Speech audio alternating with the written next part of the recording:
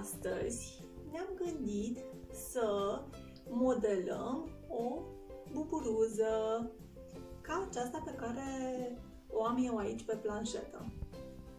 Cum vom proceda și de ce materiale avem nevoie o să vă explic imediat.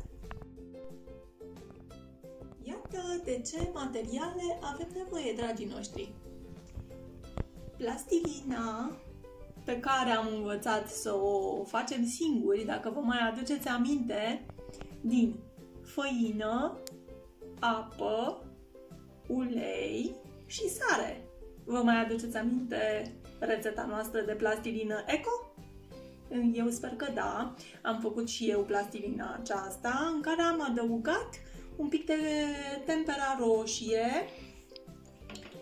mai am și albă, pentru că o să am nevoie pentru ochișori și o bucățică de plastilină neagră. De aceasta am nevoie pentru a face capul buburuzei. Pe lângă plastilina pe care deja noi am făcut-o în casă, mai avem nevoie de jumătăți de coș de nucă, tempera sau acuarel, acuarelă neagră, boabe de piper și o scobitoare. Luăm jumătate din coaja de nucă, o așezăm pe planșetă. Eu n-am avut planșetă, așa că am luat un tocător de la bucătărie. Avem nevoie pentru început de plastelina de culoare roșie. Rupem din ea și o așezăm deasupra cojii de nucă. Pur și simplu îmbrăcăm coaja de nucă cu această plastilină de culoare roșie, astfel încât să acoperim toată coaja, să nu se mai vadă absolut nimic din această coajă. O să trasăm o linie pe mijlocul cojii de nucă cu ajutorul scobitorii, astfel încât să arătăm copiii că buburuza noastră are două aripioare.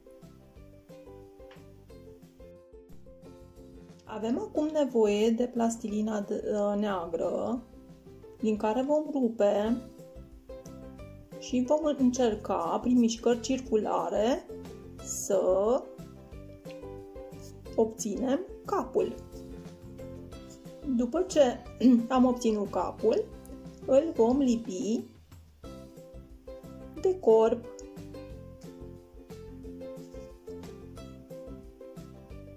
ochișori avem nevoie de plastilina albă, rupem din ea și cu mișcări circulare obținem cei doi ochișori.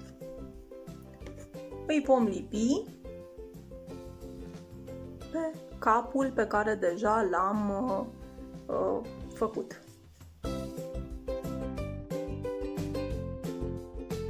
Avem nevoie de două boabe de piper pe care o să le așezăm pe cele două bobițe albe, astfel încât să realizăm ochii și, bineînțeles, ce ne mai lipsește copii? Ne mai lipsesc bulinele de pe aripioarele buburuzei. O să folosim piperul pe care o să-l așezăm din loc în loc pe aripioare.